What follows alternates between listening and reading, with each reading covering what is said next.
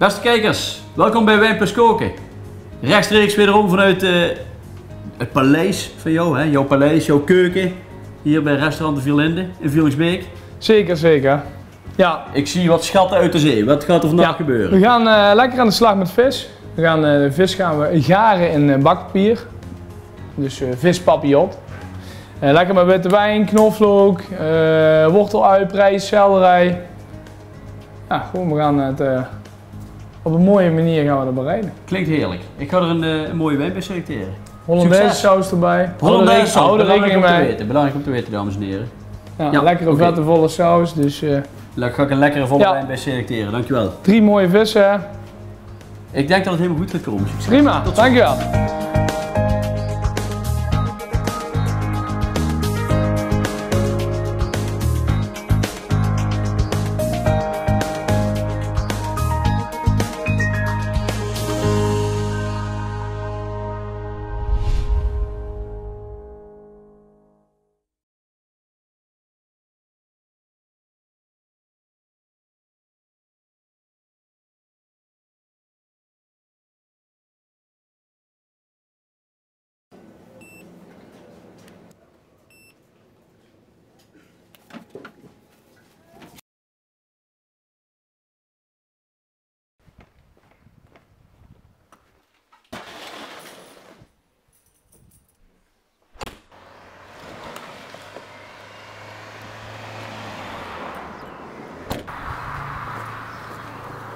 Oh, de boodschappen.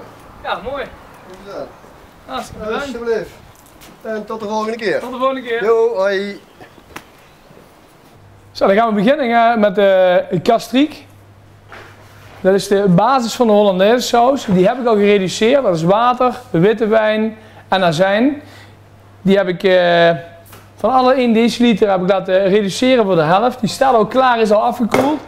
Eh, voor de Hollandaise hebben we ook geklaarde boter nodig. Nou, die boter die heb ik al, eh, die heb ik al zachtjes laten smelten. Dan gaan de eiwitten zich scheiden van het vet. En alleen het vet gaan we gebruiken bij de saus, zodat hij zich mooi emulgeert met een eidooier. En dan krijgen we een mooie Hollandaise saus. Dus eh, die laten we eventjes eh, zacht worden. Ehm, in de papillot gaan we gebruik maken van groentes, wortel, ui, prei, selderij, ezelsbreukjes, bubs. Dus eh gebruiken we ook om jus te trekken, om voors te maken, visfumé, kreeftensoep. Nou, wortel die gaan we schillen. En dan gaan we van deze groentes julienne snijden. Dus zeer luciferstokjes zeg maar. Zodat een- tijdens de bereidingstijd de smaak optimaal uit die groentes kan komen en ook gaar zijn. Dus de vis gaar dat de groentes ook gaar zijn.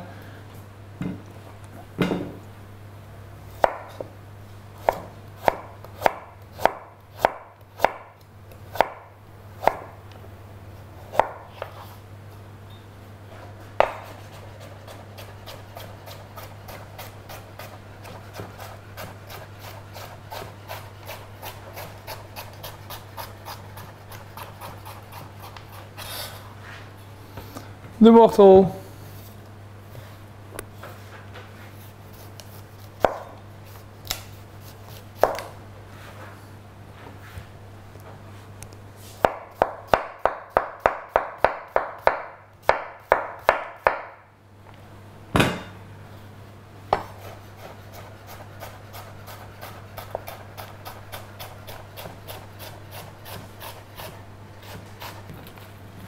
Knol. Prei ook even goed gewassen.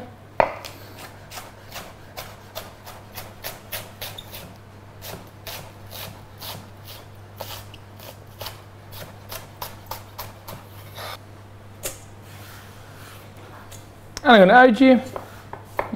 Een mooi snipperen.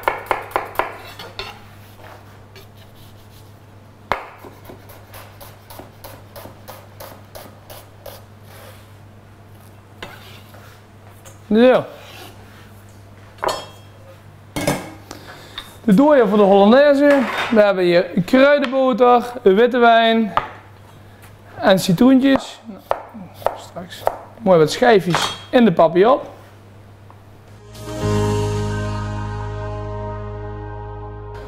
Nou, de voorbereiding hebben we dus klaar voor de papillot. Nou, de vissen. We hebben een mooi stukje tonijn. Kun je ook rauw eten, voor carpaccio, tartaar. Ontzettend lekker. Kabeljauw en robaars. Nou, bij tonijn is het natuurlijk ontzettend belangrijk dat die mooi, mooi van kleur is. Hè?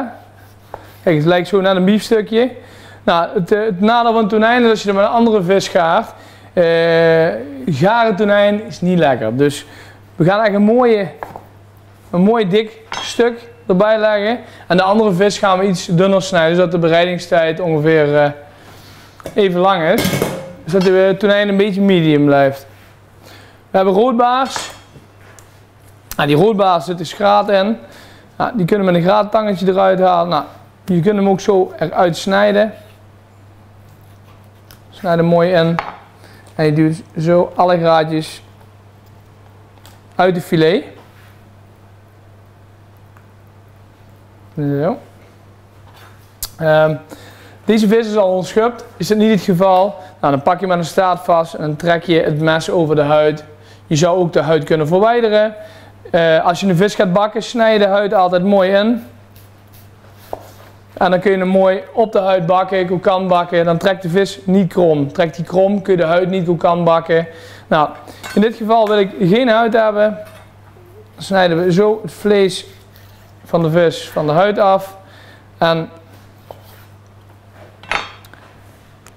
leg deze eventjes hier bij de tonijn.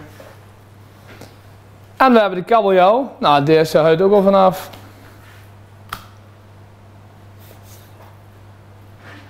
Zo. Um, de visjes hebben we klaar. Nou, dan gaan we op het bakpapier lekker wat groentes leggen aan één zijde. We moeten hem straks mooi zo dicht kunnen klappen.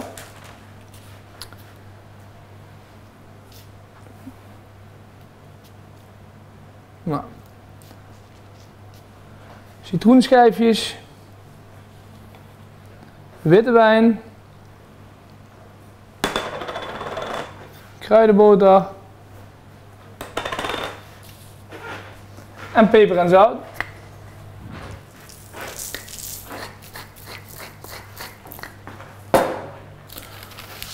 Deze bereiding kun je natuurlijk toepassen met aluminiumfolie. Gaat ook een stuk makkelijker. Alleen qua presentatiebord vind ik het niet zo mooi.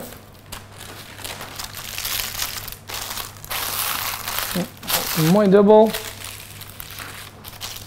Dan gaan we in kleine vouwtjes helemaal rondom.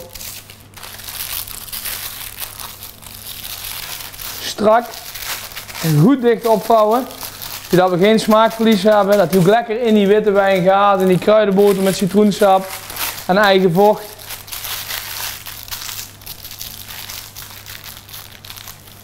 gaat hij lekker op 170 graden, minuutje of uh, 15, 16 in de oven. En uh, dan is het lekker smullen maar.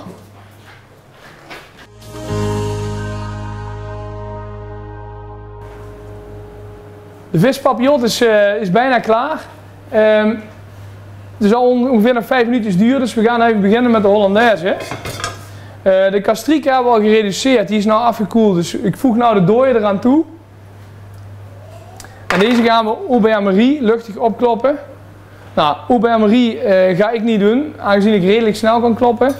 Maar thuis kun je het beste in een waterbadje zetten, water laten koken en dan gewoon rustig op, opkloppen. Nou, ik ga achtjes kloppen in een pan. Dan raak ik de hele bodem van de pan. En zoals u ziet wordt de massa al lekker luchtig. En zodra ik zie dat de massa begint te koken, dan stop ik en voeg ik al roerend de geklaarde boter toe.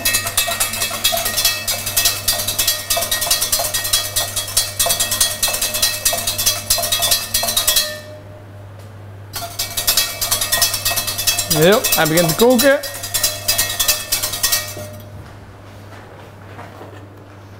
Nou, de mooie geklaarde boter. Die gaan we rustig erbij schenken. En dan zorgt die dooier Dat die boter lekker wordt opgenomen zonder dat de saus in de schrift gaat.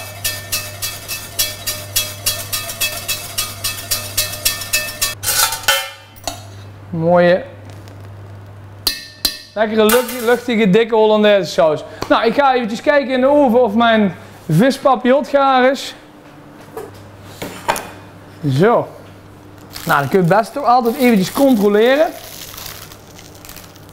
En dat controleren doen we door met het mes in de vis te prikken. Als die er gewoon makkelijk doorheen gaat, is die vis eh, perfect. Bij tonijn is het natuurlijk anders. Die is nog een beetje medium, dus die zal ook iets stugger zijn van structuur. Zo.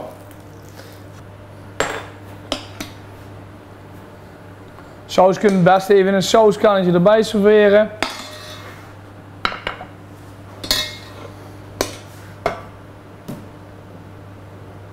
Zo. Dan wacht ik even met het openmaken van de papillot tot eh, Jan er ook is met een wijntje. Kunnen we samen genieten van die aroma's.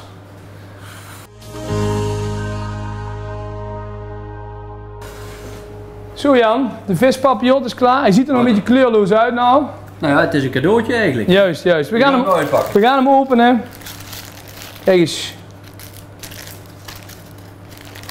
En zoals je ruikt, Ja, dat, dat ruikt heerlijk. de witte wijn, de vis, groentes.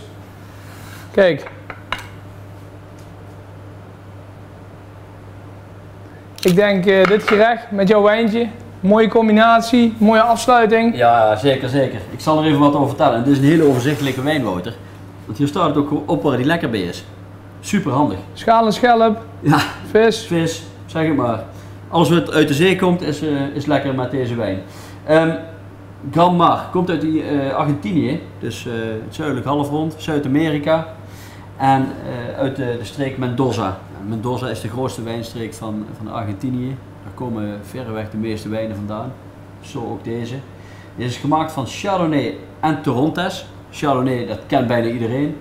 Ehm, een druivenras, zeer populair, over de hele wereld aangeplant en zeer geliefd bij veel mensen. En Torontes is een, een Argentijns druivenras, wat eh, dus echt heel specifiek voor, eh, voor Argentinië en heel kenmerkend is. Het is een druivenras wat eh, misschien wat minder bekend is, maar wel heel erg aromatisch, vol van geur. En eh, bijvoorbeeld muskaatachtige aroma's, eh, maar ook eh jasmijn en rozen, doet het vaak aan denken. En ja, deze wijn die is, is wel droog, maar een, een hele fruitige, volle smaak. En het aardige is natuurlijk, dat met die Hollandaise saus, dan moet je ook wel een beetje een romige, volle wijn hebben. Vandaar die Chardonnay. En voor die frisse zuren die er met citroen in zit. En wat ook goed past bij, bij de vis, bij, nou, bij de witte vis, is dan het zuurtje wat er ook een beetje in zit. Dus een, eh, ik denk een hele mooie combinatie van een, eh, ja, een oeroud, eeuwenoud bekend ras Chardonnay. Met eh, ja, eigenlijk de nieuwe, verrassende, in ieder geval voor veel mensen, Torontes. Dus Grand Mar, nu het assortiment bij Plus. Heerlijk bij deze vispapillot. Prima. Dankjewel voor het kijken voor deze keer. Eh, wij gaan nog even genieten van de papillot denk ik, eh, Wouter. En bij jouw wijn. En eh, van de Chardonnay Torontes van Grand Mar. Zeker. Wij zijn over een aantal weken weer bij u terug met nieuwe afleveringen. Ja, dat klopt. Waar gaan we dan naartoe? Ik denk dat we meer richting het wild gaan. Dus Het seizoen Ja. is dan geopend Ja, en ja. dan gaan we genieten van het, het Nederlands wild. Nou, bedankt voor het kijken. bedankt voor het kijken. Tot de volgende keer bij Wijn Besproken.